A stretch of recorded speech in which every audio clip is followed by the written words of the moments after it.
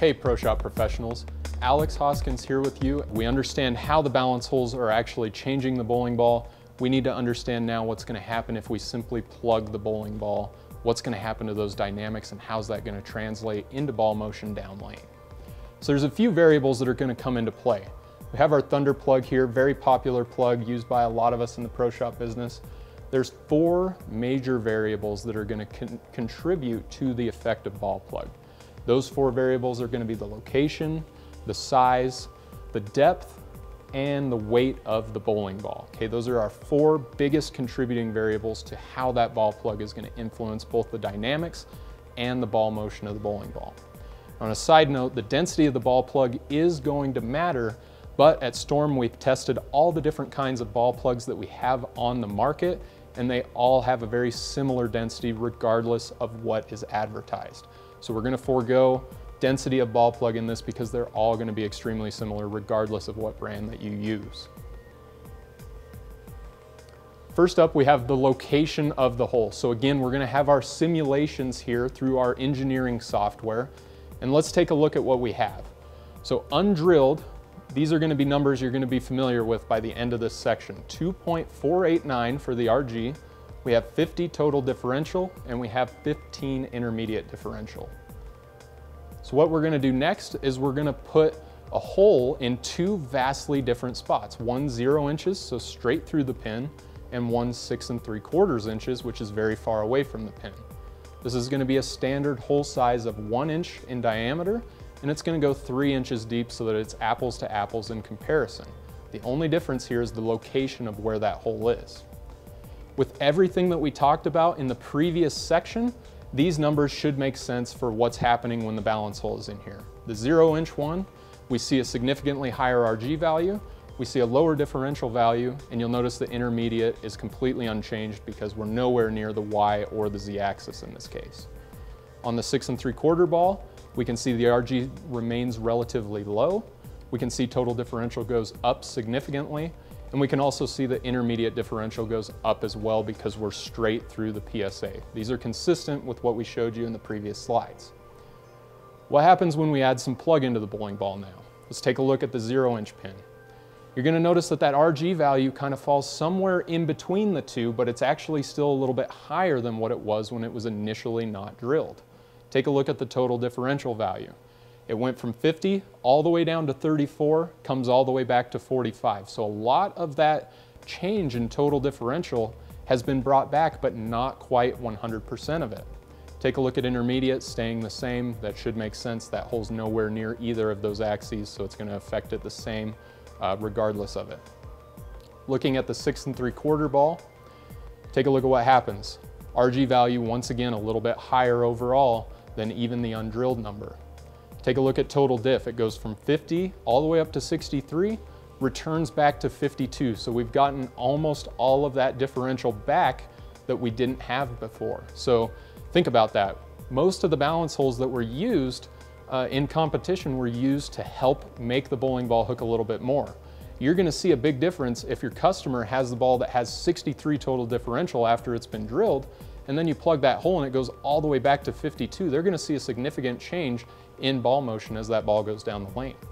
You'll see the intermediate differential acts the exact same as the total differential because it's uh, directly on the y-axis, which is gonna change between the y and the z with, when referring to intermediate differential.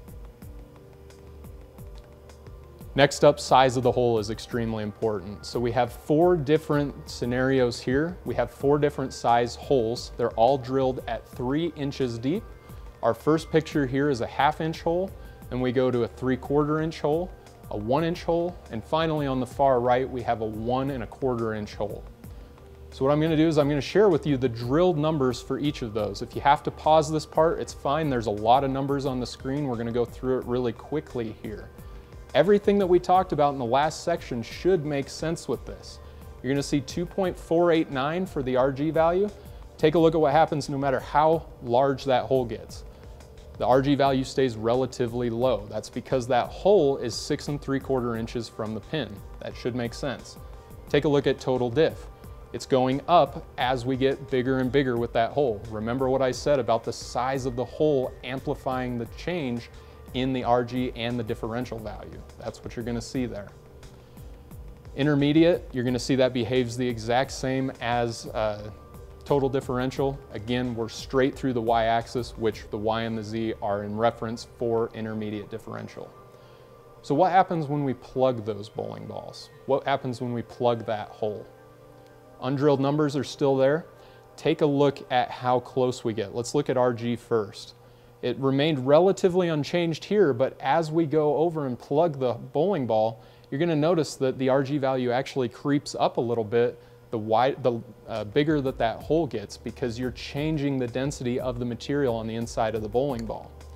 So overall, RG values are gonna go up as you plug the bowling ball. That's gonna cause your ball to get a little bit further down the lane and not wanna qu quite hook as much.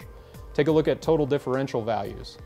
They're all extremely close to that 50 undrilled number that we started with. So a little bit of that hole is gonna bleed through, but not very much. You're gonna get about 80 to 85% of those dynamics returned to you once that balance hole's plugged. You'll also notice the intermediate behaves the same as the total differential there. So we're getting a lot of those dynamic changes that we got from the balance hole, we're giving them all back when we plug that balance hole. Next up, we have the depth of the hole. So again, we have four different scenarios here. We have a one inch depth on the left, two inch depth, three inch depth, and finally a four inch depth there on the far right.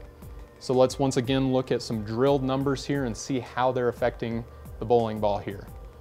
What I want you to notice here is look at the RG value. You'll see we started our 2.489 that we were at.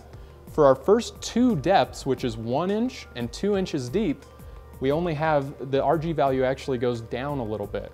Again, this is because if we're less than two and an eighth inches deep, we're not far enough into the middle of the ball to significantly increase the RG value. But take a look at what happens when we get to the three and finally the four inch depth.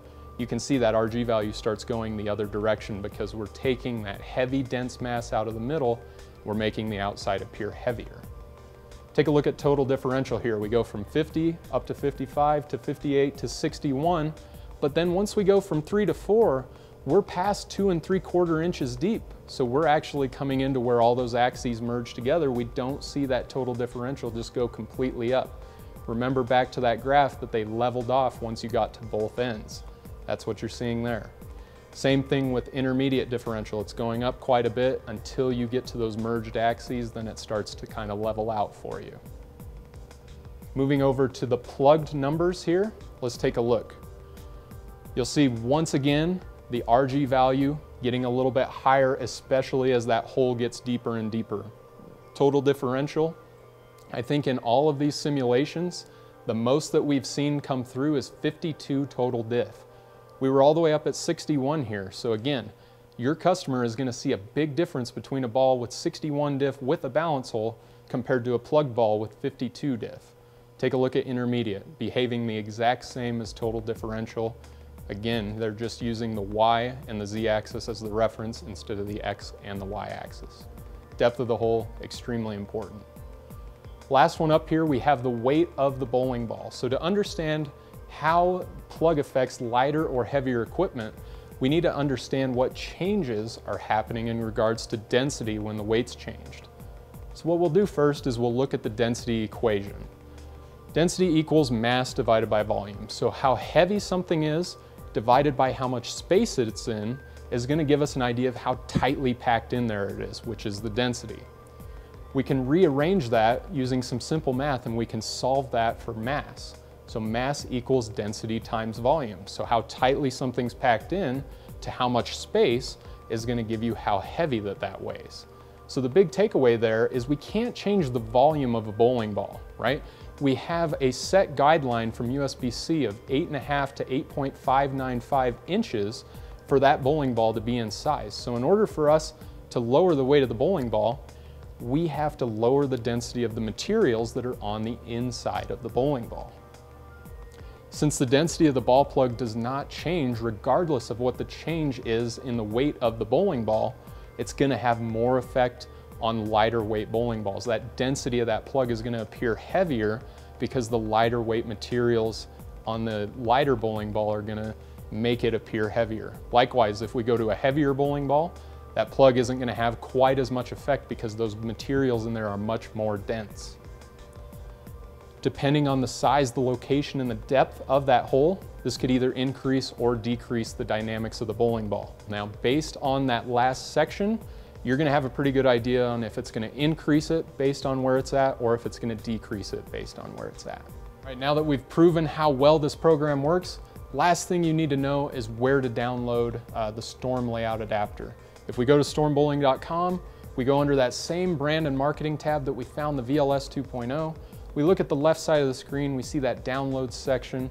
Under the drill specs, we're gonna have the storm layout adapter there, free of charge for both pro shops and bowlers to try out.